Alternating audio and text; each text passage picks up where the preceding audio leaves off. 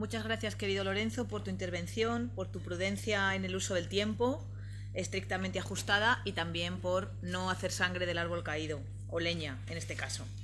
Vamos a continuación a comenzar con la intervención de nuestros panelistas. Ya sabéis que este fórum pretende que eh, expertos, entre comillas, porque yo me uno a lo que decía antes Lorenzo, que bueno, tampoco me considero experta de nada, eh, apadrinen o amadrinen a jóvenes investigadores y por lo tanto Lorenzo y yo esto lo vamos a hacer a la limón. ¿eh? Yo en este congreso me he propuesto hacer cosas a la limón, igual que la ponencia de mañana, que también es a la limón, pues esto también. yo me voy a encargar de presentar a los panelistas y a glosar brevemente su currículum y Lorenzo se va a encargar de exponeros de qué van a hablar. En primer lugar, va a intervenir la profesora doctora, doña Lina Mariola Díaz Cortés, que como podéis ver por la composición de la mesa, me acompaña aquí a mano izquierda. ¿eh? Eh, Lina es eh, compañera de esta facultad, es profesora de Criminología y Política Criminal en Ciencias de la Seguridad y de Derecho Penal Especial en el Máster de Derecho Español para Juristas Extranjeros. leyó brillantemente su tesis doctoral en esta misma facultad en el 2007 eh, se encuentra actualmente acreditada eh, como profesora ayudante doctora eh, por la Agencia de Calidad del Sistema Universitario de Castilla y León desde el año 2009 y aparte de otra serie de méritos interesantísimos que por falta de tiempo no puedo exponer en este momento, deseo destacar que ha realizado instancias de investigación tanto en Milán como en Bolonia en el año 2003 y en el año 2009 respectivamente.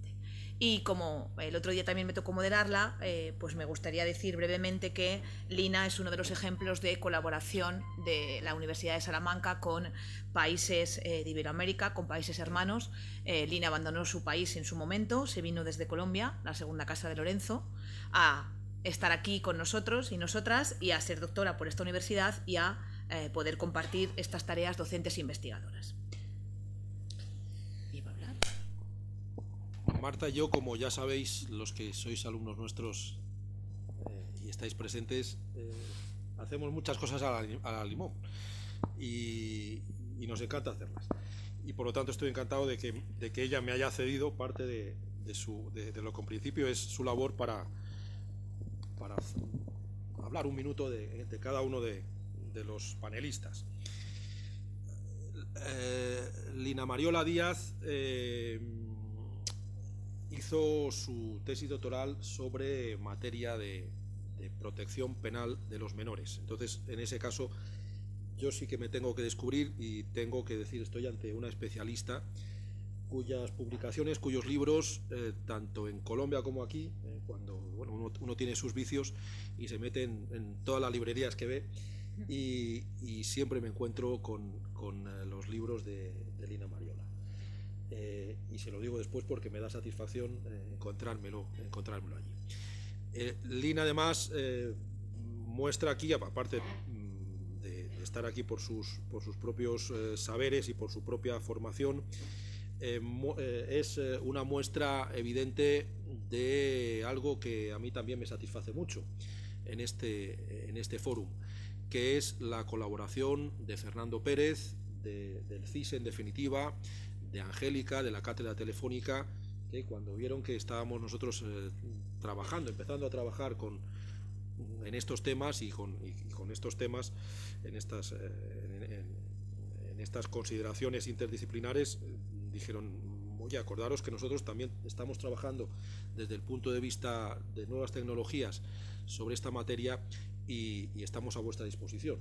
Por lo tanto, muchas gracias Fernando, muchas gracias Lina también por ese aspecto eh, de colaboración desde el CISE. Pero no quiero quitarle más tiempo, yo, quiero, yo vine, como decía, mis padres me mandaron hace 30 años a Salamanca para aprender, el que quiera aprender que vaya a Salamanca y yo sigo aprendiendo en Salamanca. Por lo tanto, para aprender voy a escuchar atentamente a, a Lina. Pues Lina, comienzan tus 12 minutos para hablarnos de aproximación al estudio del artículo 183 bis, una nueva manifestación de anticipación de la tutela penal. Eh, buenos días. Antes de entrar en materia, eh, quiero agradecer las generosas palabras de Lorenzo y de Marta, em, que son bastante generosas porque tampoco me considero experta en el tema. lo he estudiado, lo, he, hemos eh, venido manejando un poco el, tema del child grooming, lo hemos venido manejando desde la cátedra de seguridad de la que hablaba Lorenzo. em, por lo que pues te, agradezco las palabras y lo, cual me genera un gran compromiso con el auditorio. ¿no? Eh, aparte de eso, me uno a las felicitaciones que todos han señalado respecto a, a toda la labor que Federico ha desarrollado con, el, con este Congreso. Sin duda alguna, em, la realización de este tipo de eventos en cuales, eh, a través de los cuales se fomenta eh, la participación de jóvenes investigadores es, eh, es, una realidad evidente y frente a la cual la universidad tiene que responder y un buen ejemplo de ello es, es, es este Congreso. Bueno, sin más dilaciones, entró en materia. Em, bueno, eh, concretamente mi comunicación va referida eh, respecto al artículo 183 bis del Código Penal Español, el cual fue resultado de una reforma introducida en el año 2010, en la última reforma a través de la Ley Orgánica 5 del 2010. ¿Qué se trata de hacer con qué, conducta eh, se establece a través de este artículo? Se, establece, eh, se penaliza la conducta de todo aquel que a través de Internet o de las tecnologías de la información o la comunicación contacte a un menor de 13 años y eh, con el fin de realizar un delito eh, en materia sexual de alguno de los establecidos en el artículo 183 y 189 del Código Penal que hacen referencia a abusos sexuales, acceso carnal violento, etcétera, siempre y cuando el sujeto realizare labores de acercamiento al respecto. Entonces, eh, a partir de este artículo, en mi concepto, surgen em, dos pilares importantes de investigación. Primero, plantear si realmente es una realidad criminológica eh, evidente que eh, nuestros menores de 13 años puedan realmente a través de las tecnologías de la información y la comunicación em, ser vulnerables en cuanto a su libertad o indemnidad sexual por parte de otros sujetos que entren en contacto con ellos.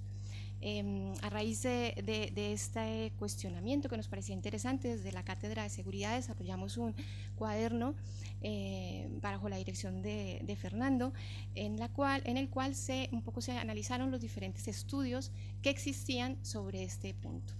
Em, así fue como se encontraron estudios, eh, concretamente como eh, un análisis del Defensor del Pueblo del 2009, de INTECO del 2008, del Observatorio de Andalucía del 2008, del Defensor del Pueblo eh, del País Vasco del 2009 y, última, em, y la última, la más reciente, que es una investigación realizada por em, unas investigadoras de la Facultad de Psicología de la Universidad de Barcelona que participaron en un congreso que tuvimos el año pasado en Ciencias de la Seguridad en la cual se planteaba precisamente, se, hacía una encuesta con el fin de verificar em, si, esta, si, si realmente em, eh, los menores de esta edad em, eran vulnerables frente a este tipo de conductas.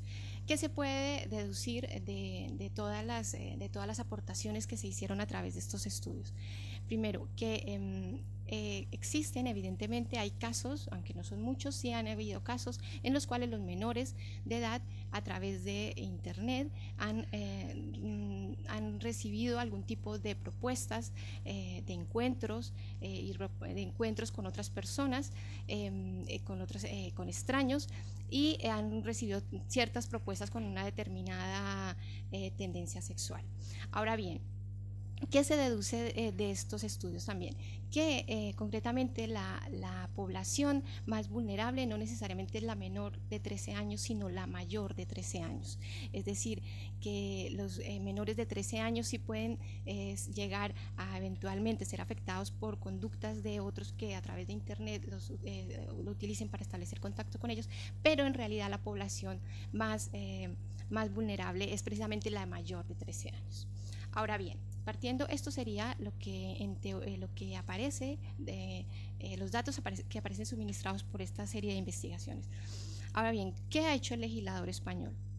El legislador español, siguiendo eh, en esto, como también en otras en, otros ámbitos del derecho penal, ha seguido en parte el convenio de Europa del 2000 de 2007 en materia de explotación y abusos sexuales de menor, en el cual se sugería a los Estados miembros que estableciesen eh, todas aquellas medidas tendientes a, de alguna manera, eh, penalizar las conductas en las cuales ese, un adulto, se refiere, un adulto estableciese contacto a través de las tecnologías de la información y la comunicación con el fin de establecer determinados delitos de carácter sexual. Y concretamente hacía referencia a, no señalaba una franja de edad, sino que hacía referencia a que la franja de edad que en cada legislación se estableciese em, para, eh, tomando en cuenta la edad que en cada país se utilizase como la válida para dar un consentimiento en materia sexual. Entonces, en razón de lo anterior, el legislador español lo que hizo em, fue eh, establecer en el tipo que el, mm, el sujeto pasivo de, esta, de las conductas del, que ha sido denominado eh, child grooming sean los menores de 13 años. Entonces, como vemos, en primer lugar, pues ahí eh, habría un, pequeño, mm, bueno, una gran diferencia con la que eh, con los estudios criminológicos a los que les hacía referencia, en los cuales evidentemente la población más vulnerable son los menores mayores de 13 años. Entonces habría primero un desfase desde ese punto de vista. Ahora bien, em, otra imprecisión en la que se puede incurrir es que se señala la edad en la cual un menor puede establecer, eh, dar su consentimiento en materia sexual, que en España en teoría son los 13 años, ¿no? Es decir, que hay una presunción de, derecho según la cual un menor de 13 años nunca puede dar un consentimiento válido en materia sexual. Ahora bien, como, la, como el tipo penal establece que sean los menores de 13 años, en nuestra opinión, eh, sería un, eh, no es un argumento válido establecer que, eh, que se establece la edad de 13 años como quiera que es la edad que a partir de los 13 años se tiene una validez para expresar el consentimiento sexual. ¿Por qué? Porque precisamente estamos hablando de delitos que eh, son como abusos sexuales o accesos a canales violentos donde evidentemente no hay un consentimiento o bien no hay un consentimiento por violencia o bien el consentimiento está viciado. Entonces, por ende, no sería un argumento, no es un argumento contundente el señalar que Mm, se ha determinado la franja de 13 años porque a partir de los 13 años se tiene, se, tiene consentimiento sexual porque es claro que esta conducta precisamente se da en los casos en los que no hay consentimiento sexual. Entonces otra cuestión es que si hubiese llegado a aducir que los 13 años se toman en cuenta pues por la especial vulnerabilidad o la especial peligrosidad que implica el que se desarrollen este tipo de conductas contra los menores de 13 años. Eso sería en primer lugar.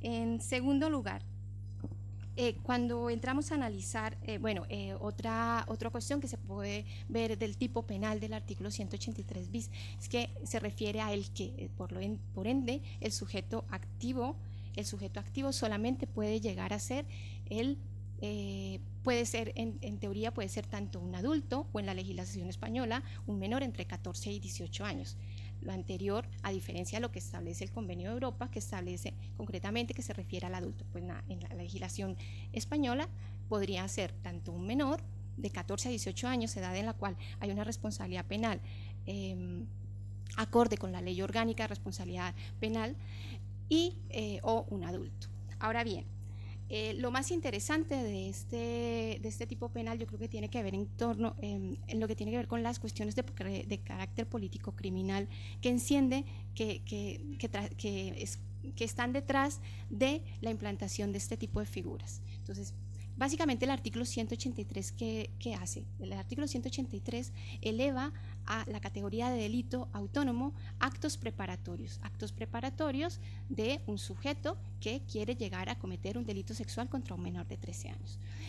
El trasfondo que enciende todas estas políticas, eh, toda esta política criminal que de alguna manera anticipan la tutela penal, ¿Por qué se llama anticipación de la tutela penal? Porque efectivamente no se espera a que se lesione el bien jurídico protegido, sino que se actúa de manera anterior, antes de, la, antes de que entre en lesión. O sea, eh, se expande de alguna manera em, la aplicación del derecho penal, actuando en razón de que evidentemente la conducta puede llegar a ser peligrosa para el menor y por ende se actúa. Entonces, eh, el trasfondo ideológico de esto es la denominada sociedad del riesgo, toda la política que enciende la sociedad del riesgo.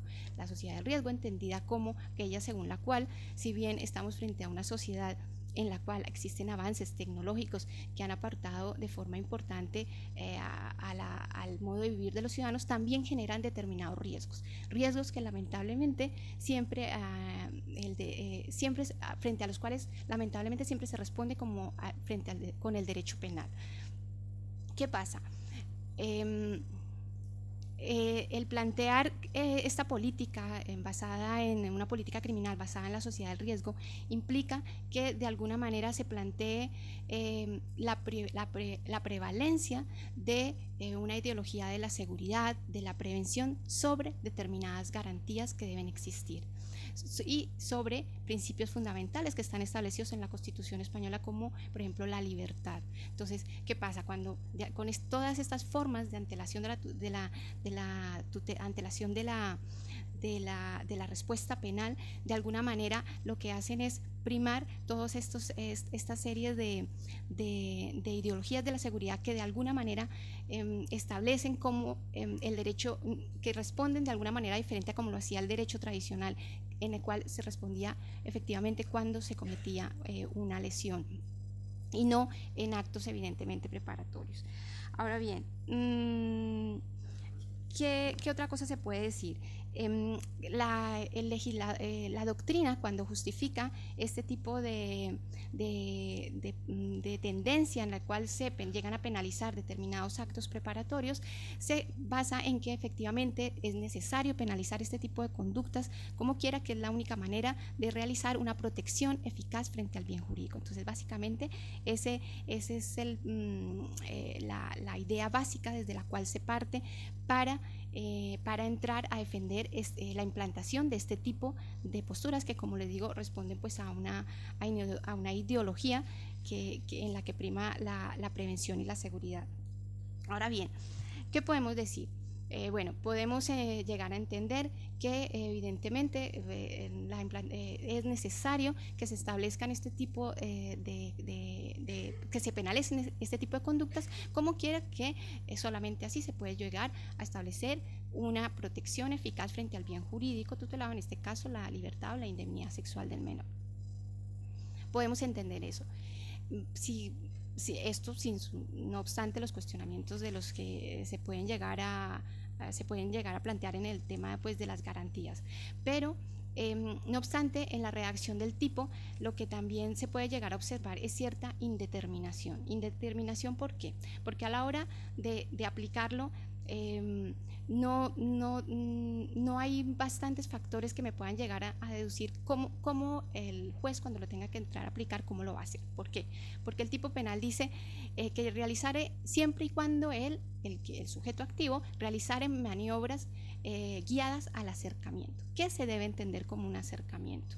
Entonces, Evidentemente, llenar eh, esta expresión de labores guiadas al acercamientos implica una labor interpretativa que em, Mm, que, mm, una labor interpretativa que de alguna manera eh, genera cierta mm, dificultad, eh, como quiera que, evidentemente eh, se está afectando, como lo señalaba, pues la determinación que en principio debe tener todo tipo penal.